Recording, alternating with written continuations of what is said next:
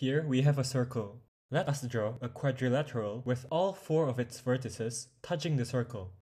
This is known as a cyclic quadrilateral. According to the theorem, the product of one pair of opposite sides plus the product of another pair of opposite sides is equal to the product of the length of the diagonals.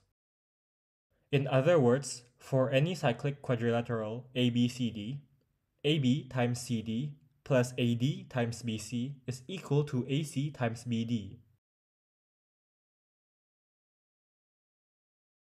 Before we start on the proof, let us take a look at something we need to know first.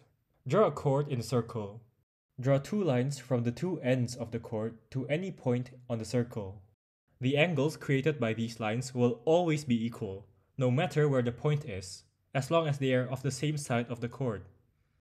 These are called angles in the same segment. Now, let us begin the proof.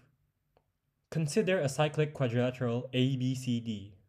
Let us draw a line AE such that angle DAE is equal to angle CAB. Angles ADE and ACB are equal as they are angles in the same segment as we previously discussed with the chord AB. Thus, all three angles in triangles ABC and AED are the same making them similar triangles. As they are similar triangles, we can equate the ratio of their corresponding side lengths. AC over AD is equal to BC over DE. Cross multiplying, we get AC times DE is equal to AD times BC. Now, let us take a look at two other triangles. We know that angles DAC and EAB are equal.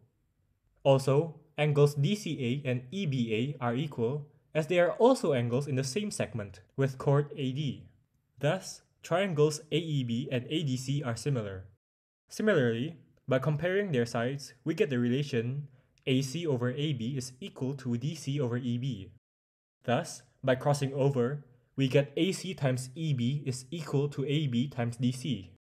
Adding these two results, we get AC times DE plus AC times EB is equal to AD times BC plus AB times DC.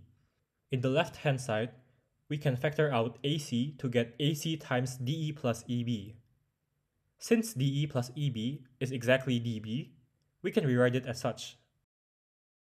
Thus, the theorem has been proven. Here are some problems you can solve using the theorem we discussed earlier. Try to pause the video and solve them.